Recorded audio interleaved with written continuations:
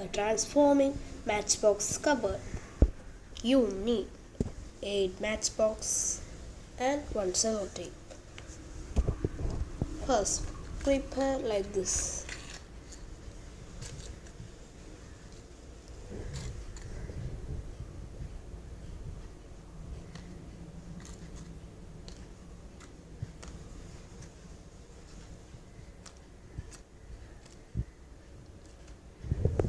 And stick the sellotape like this.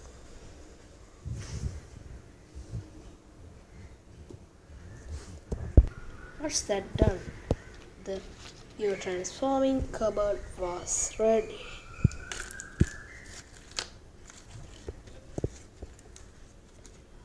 You can prepare it in many